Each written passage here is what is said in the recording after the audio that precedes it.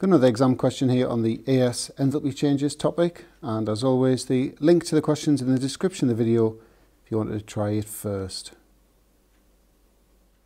Okay, so the first thing we've got to use this information about this calorimetry experiment to determine the enthalpy change of combustion of hexane in kilojoules per mole and we've got to give it to an appropriate number of significant figures.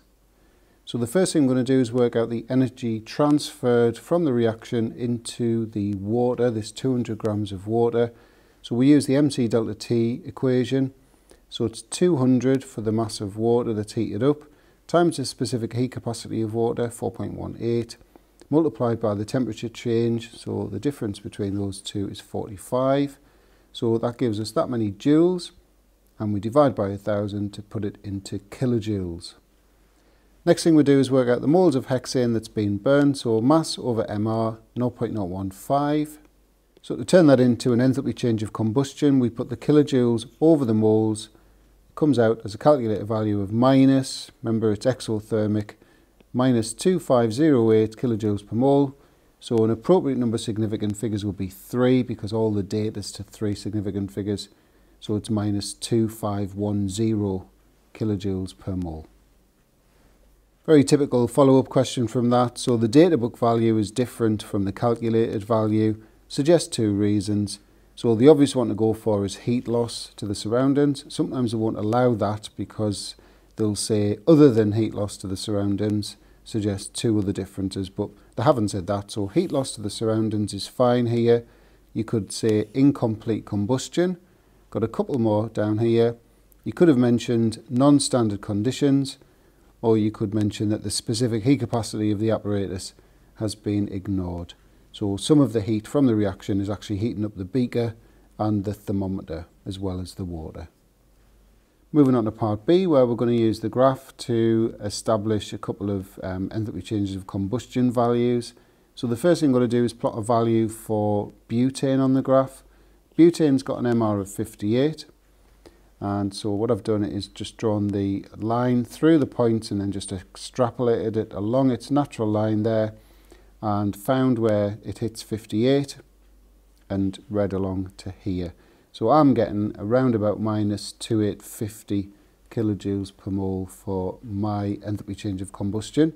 So while the graph's still on the screen, just talk about the beginning of the next part of the question. So it deals with pentane now. So we've got an MR of 72. So you can see I've done the same as before, but now I'm finding out the enthalpy change of combustion for pentane from my graph, and I'm getting around about minus 3,550 kilojoules per mole. So now we've established how many kilojoules per mole of um, pentane are released. I'm going to find out how many moles of pentane we've got in this 1.8 grams. So mass over MR, 0.025 moles. So the energy released by the 1.8 grams of pentane is going to be the kilojoules per mole value multiplied by the moles we've got, and that's coming out at 88.8 kilojoules. And now for the last part of the question, we've got to use these enthalpy changes of formation values. You can see I've highlighted all the little F's there. So we use an enthalpy change of formation data to calculate an enthalpy change for a reaction. So the reaction in question just happens to be an enthalpy change of combustion.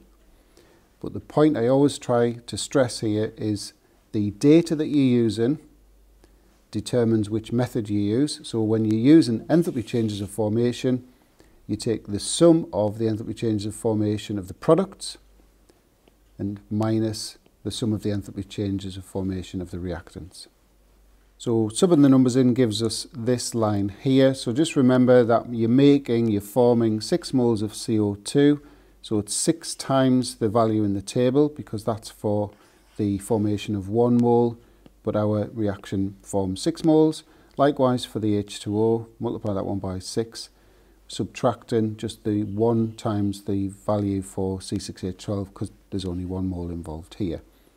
Obviously, we haven't got a value for oxygen because the enthalpy change of formation of all elements is zero.